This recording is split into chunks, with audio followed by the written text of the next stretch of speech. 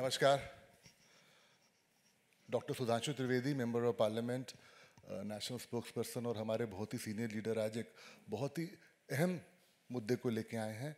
ये बहुत ही देश में आज इसको लेके बहुत चर्चा हो रही है। उसको डिटेल में आप लोग के बीच में रखेंगे। डॉक्टर त्रिवेदी।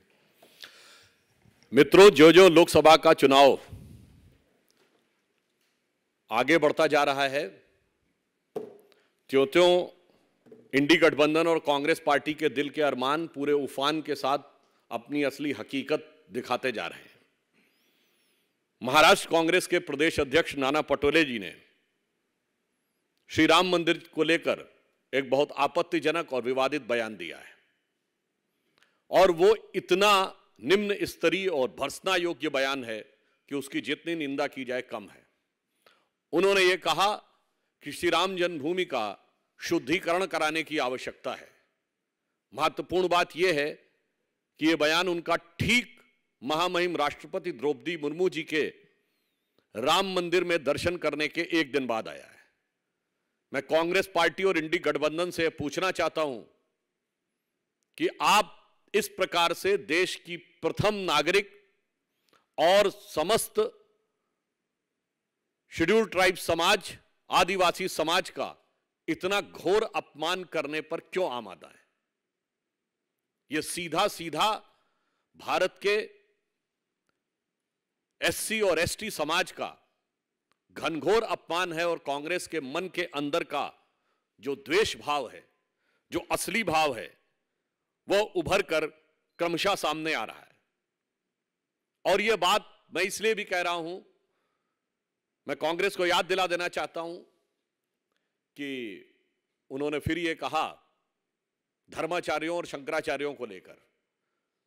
तो कांग्रेस को याद दिला देना चाहता हूँ, जब श्री राम जन्मभूमि आंदोलन की शुरुआत हुई तो 1989 के प्रयाग के महाकुंभ में धर्म संसद हुई थी और देश के सभी धर्माचार्यों ने एक स्वर में इसका समर्थन किया था। कांग्रेस तब भी इसके विरोध में थी। 9 नवंबर 1989 को श्री राम जन्मभूमि का शिलान्यास हुआ तो जो चार ईंटें रखी जाती हैं, उससे पहली ईंट बिहार के कामेश्वर चौपाल जी के द्वारा रखी गई थी, जो आपके हिसाब से तथा कथित निम्न जाति के थे, अनुसूचित जाति के थे, हम तो किसी को ऊँचा और नीचा नहीं मानते, तब भी कांग्रेस ने विरोध किया था। 2019 में जब जजमेंट आया, तब भी कांग्रेस ने विरोध किया। जब 2024 में इसी वर्ष 22 जनवरी को श्री राम जन्मभूमि का उद्घाटन हुआ, प्रधानमंत्री श्री नरेंद्र मोदी उसमें मुख्य भूमिका में थे, जो स्वयं ओबीसी समाज से आते हैं तो उसका भी विरोध किया।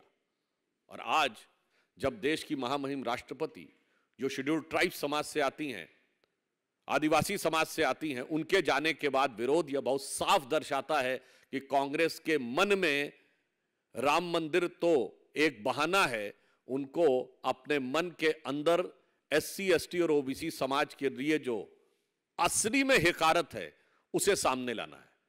अब आप ये बताइए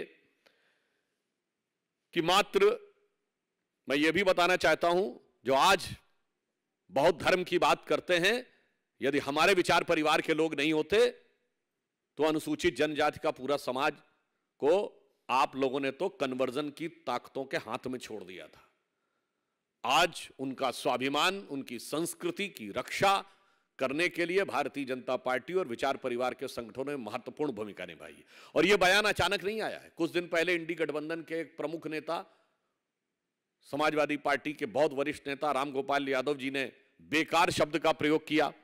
तो फिर इनके साथ समंदर पार बैठे हुए गुरु जी ने डेमोक्रेसी पे संकट आ, आया हुआ है। राम मंदिर और रामनवमी की वजह से यह शब्द प्रयोग किया। और अब नाना पटोले ने राम मंदिर के शुद्धिकरण की बात की। यानी यह कोई एक अलग बयान नहीं है जिसे निजी बयान कह के वो दरकिनार कर सके। ये वास्तविकता में एक सोची समझी व्यवस्थित उनकी सोच के तहत है और इसकी हद तो यह है कि मात्र कल इनके एक प्रमुख नेता मणिशंकर अय्यर पाकिस्तान को सम्मान देने की बात करते हैं और आज नाना पटोले राम मंदिर के अपमान की बात करते हैं। यानी एक तरफ़ पाकिस्तान का सम्मान और एक तरफ़ है राम मंदिर का अपमान। और उसके साथ साथ अनुसूचित जनजाति समाज का अपमान। और जब ये बहुत उसकी बात करते हैं तो मैं ये भी बताना चाहता हूँ, आप अपने मन में कितनी भी श्रेष्ठता रखिए और अपने को कितना भी बड़े ऊँचे मानते हैं, आपकी पार्टी के नेता अपने आप को बड़े ऊँचे खानदान का मानते हैं, जो चार पीढ़ी से शासन कर रहा है, परंतु भगवान राम ने रामचरितमानस में बहुत स्पष्ट कहा है कि जात पात कुल धर्म बढ़ाई। धन, बल, परिजन, गुण चतुराई। इन दस चीज़ों से मैं नहीं मिलता। पुनः कह रहा हूँ, जात, पात, कुल, धर्म बढ़ाई धन, बल, परिजन, गुण चतुराई। इन दस चीज़ों से नहीं मिलता तो आपकी ऊंचाई की अहंकार और चतुराई इससे नहीं मिलने वाले। उन्होंने बहुत साफ़ कहा है। वो शबरी माता से कहते हैं, कहे, रघुपति, सुन भामिनी बाता। यानी, हे देवी, एक ही बात कह रहा हूँ, मानहू एक भगत कर नाता। और कांग्रेस के अंदर भक्ति नहीं है। इसी कारण से उनके मन की जो हिकारत है भारतीय संस्कृति और श्री राम मंदिर के प्रति, वो निरंतर उभर कर सामने आ रही है। आप मोदी जी के लिए आप शब्दों का प्रयोग करते हैं। कोई बात नहीं। हम उसे सह लेते हैं। आप भारतीय जनता पार्टी के लिए करते हैं। हम उसे सह लेते हैं।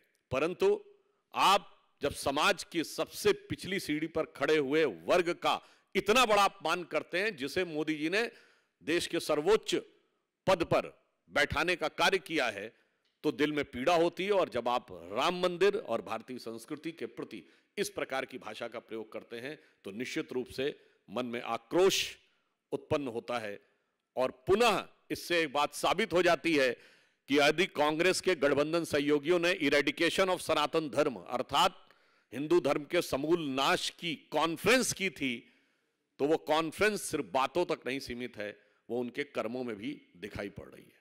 धन्यवाद। इससे कुछ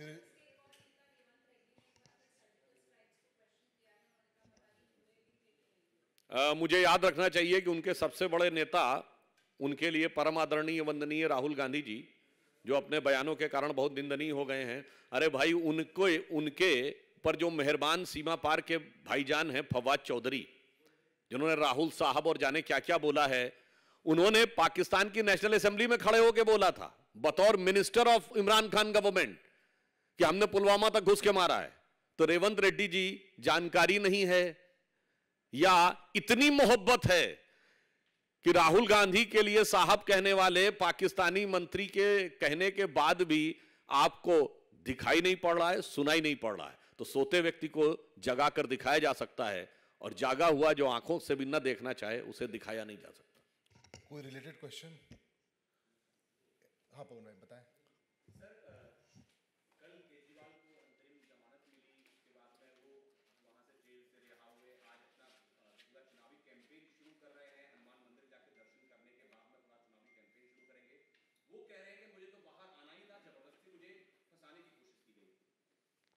देखिए केजरीवाल जी आज बाहर आए हैं और देखिए किस कदर जश्न मनाया जा रहा है। इसमें मैं कहना चाहूँगा कि केजरीवाल जी जैसे लुटियन जोन में कुछ एलीट क्लब होते हैं ना, वैसे भारतीय राजनीति में कुछ एलीट क्लब है। हम लोग अभी बचपन में सुनते थे, कोई व्यक्ति विदेश से लौट के आता था तो उस जमाने में बड़ा होता था, फॉरेन रिटर्न है। वैसे ही भारतीय राजनीति में एक एलिट क्लब है, jail return, prison return. Kejriwal ji, अब जेल रिटर्न चीफ मिनिस्टर्स के एलिट क्लब में शामिल हो गए ये वो क्लब है जो बहुत पुरानी सदस्यता जिन्होंने ली उन्नीस सौ सत्तानवे में लालू प्रसाद यादव जी इस क्लब के सदस्य बने। उन्नीस सौ छियानबे में तमिलनाडु की मुख्यमंत्री जयललिता जी इस क्लब की सदस्य बनी। फिर सन 2000 में तमिलनाडु के मुख्यमंत्री Karunanidhi ji jail return club के सदस्य बने। फिर 2006 में झारखंड के मुख्यमंत्री Shibu Soren ji jail return club के सदस्य बने। फिर 2008 में Madhu Koda ji jail return club के सदस्य बने। और मज़े की बात यह है कि अब उस जेल रिटर्न क्लब के सदस्य बनने के बाद जो खुशी मना रहे हैं आम आदमी पार्टी के लोग तो मुझे लगता है कि अन्ना को अपना गुरु मानने के बाद लालू यादव जी को अपना गुरु मानने का जो उन्होंने दिखाया था रामलीला मैदान में तो उसका पूरा प्रभाव उनके ऊपर नज़र आ रहा है। तो जेल से आने पर, और वो भी केवल शॉर्ट टर्म में, विशेष परिस्थितियों में जैसा दिया गया है उसके बाद जो उनकी ये खुशी दिखाई पड़ रही है तो मतलब लगता खुशी मिली इतनी जो मन में ना समाए पलक बंद कर लूँ, कहीं छलक ही ना जाए। तो इस इंडी गठबंधन के लिए मैं एक बात कहना चाहूँगा, देखिए कितनी मज़ेदार बात यह जो दहाड़ दहाड़ के कहते थे, शीला दीक्षित जी को जेल में डाल देंगे। जो चिंगाड़ चिंगाड़ के कहते थे, सोनिया गांधी जी को जेल में डाल देंगे, तिहाड़ में जाकर उनके सुर कैसे बदल गए, कि वो आकर इन्हीं के आगे नतमस्तक हो गए, और क्यों? अब उनके बीच में कोई दरार नहीं है, क्योंकि उस पर मोदी विरोध का इश्तेहार चिपक गया है।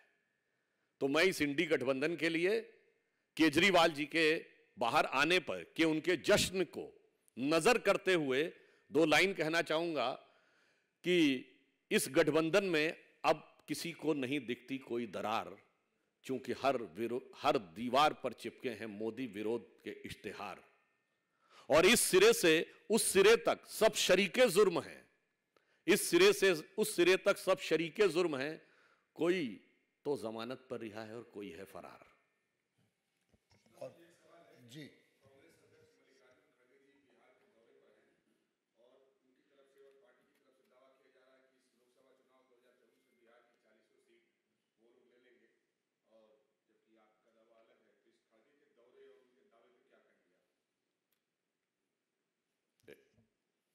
एक बार पुनः अपना प्रश्न बता देंगे।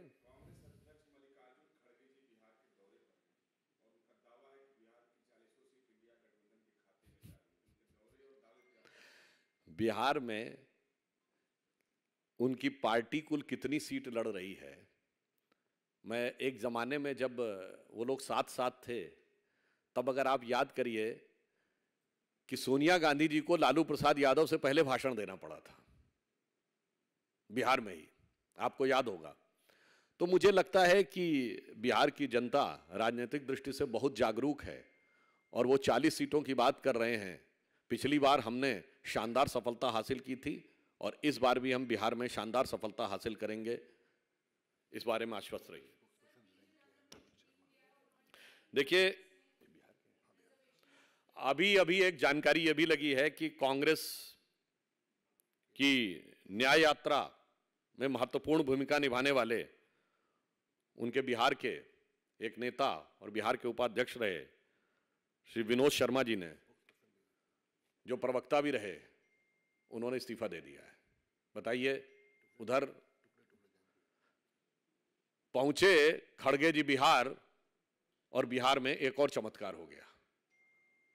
और अभी तक जो जानकारी लगी है, उन्होंने पुनः यह कहा है कि ये जो टुकड़े टुकड़े गैंग को समर्थन करने की बात कांग्रेस पार्टी करती है, उसी के कारण उनके मन में यह बात आई है।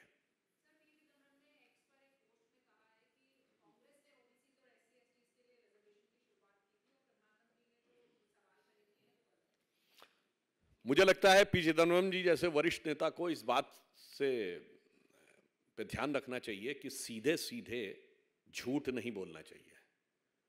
एससी को रिजर्वेशन डॉक्टर अंबेडकर के प्रयास से मिला था और उसके एक हिस्से की शुरुआत महात्मा गांधी के साथ हुए पूना पैक्ट के बाद 1937 में ब्रिटिश टाइम में हो गई थी।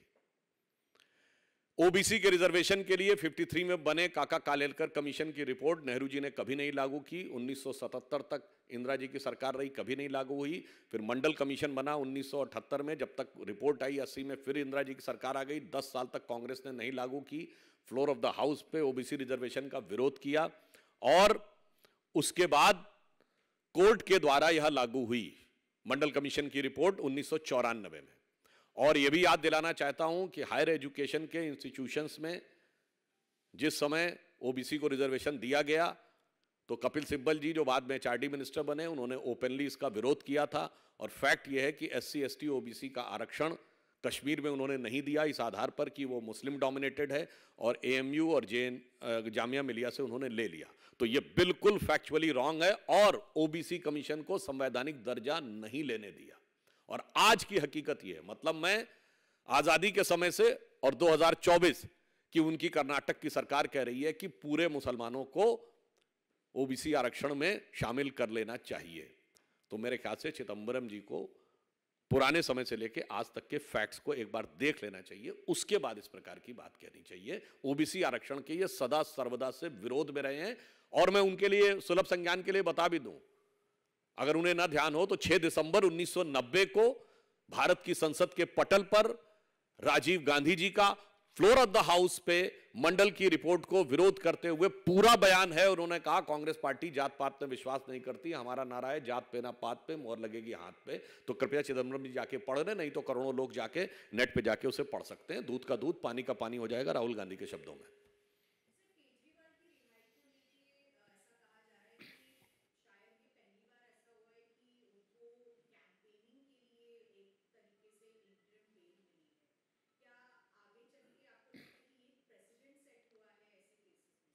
देखिए, कानूनी और विधिक मुद्दों के ऊपर न्यायालय ने किन बिंदुओं को ध्यान में रखकर उनको ये बेल दी है या इसको टेक्निकली पैरोल कहेंगे और किन किन शर्तों के तहत दी है, वो शर्तें भी बड़ी गंभीर हैं कि वो मुख्यमंत्री हैं, मगर मुख्यमंत्री कार्यालय नहीं जा सकते। मुख्यमंत्री हैं, कोई फ़ाइल नहीं साइन कर सकते। मुख्यमंत्री हैं प्रशासनिक स्तर पे कोई आदेश और इवन इस विषय से संबंधित बयान नहीं जारी कर सकते। तो वो न्यायालय का विशेषाधिकार है, परंतु ऐसा पहली बार नहीं हुआ है। देश में दर्जनों नेता जो जेल जा चुके हैं, उसी श्रेणी में केजरीवाल जी भी शामिल हो गए हैं और मैंने कई मुख्यमंत्रियों को तो नाम गिनाए थे और उससे पहले भी 2010 में सुरेश कालमाणी जी 2011 में कणिमोजी जी और ए राजा इत्यादि उस श्रेणी में आकर अब वो गर्व के साथ स्थापित हो गए हैं। नई राजनीति, नए स्वरूप में पुरानी बोतल में कैसे प्रविष्ट कर जाती है, ये राहुल गांधी, सॉरी, ये केजरीवाल जी के चरित्र में, राहुल गांधी जी की संगति में आने के बाद बहुत साफ़ दिखाई पड़ता है कि देश की सबसे पुरानी धुरानी पार्टी के संगत में आके नई नवेली पार्टी कैसी अजब अलबेली हो जाती है, वो साफ़ साफ़ दिखाई पड़ रहा है।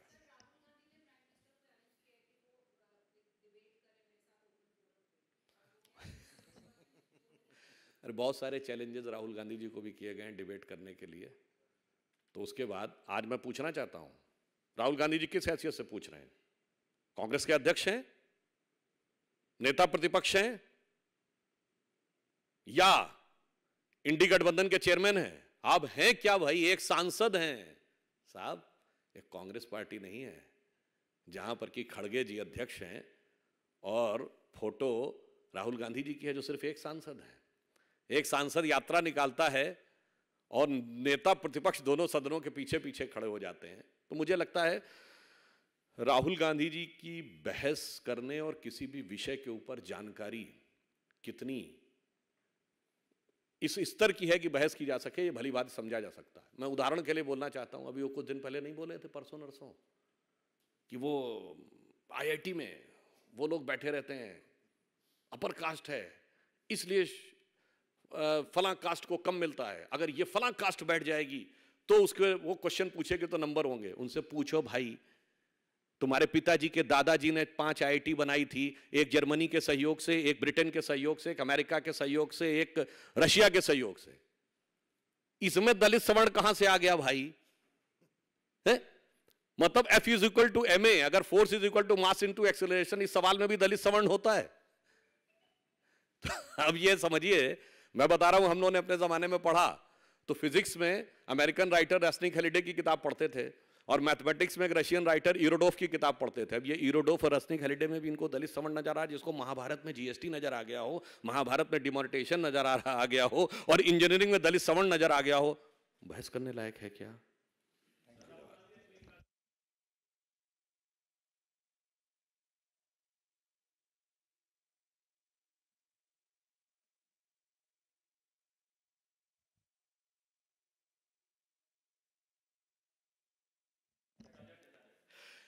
जो जो अमेठी में नामांकन लिख के देने को तैयार न हुए, वो कह रहे हैं कि पूरे देश में सरकार बनवा देंगे। इसीलिए the phenomena thy name is Rahul Gandhi